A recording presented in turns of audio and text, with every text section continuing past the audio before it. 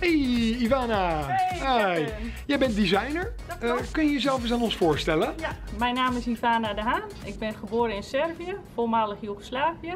En ik ben op mijn vijfde levensjaar naar Nederland gegaan.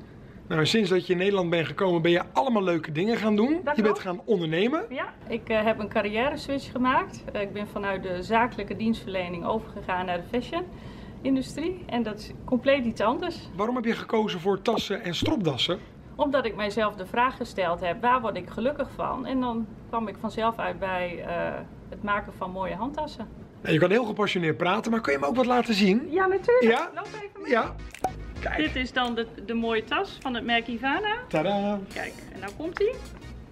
Ah, oh, dat is slim zeg. Kijk, zie je wel? Dus je krijgt compleet een andere uitstraling doordat je een, een switchie verwisselt. Dus je hebt gewoon één tas, maar eigenlijk heb je er gewoon 23. Absoluut. Ja, precies. En kun je er nog eentje laten zien? Ja, natuurlijk. En je kan dus echt gewoon alle kanten op variëren. Ja, je kunt alle kanten op variëren, allerlei kleuren, wat je zelf mooi vindt. In Ik ieder vind het een eh, hele goede cadeautip. En dan gaan we nu naar de stropdassen. Dat moet voor de man natuurlijk ook wel wat zijn, hè? Uiteraard. Ja. We hebben ook aan de mannen gedacht.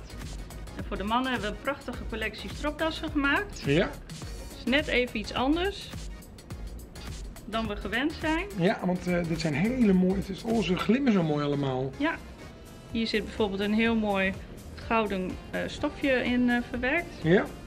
En ze worden allemaal in deze luxe box verpakt.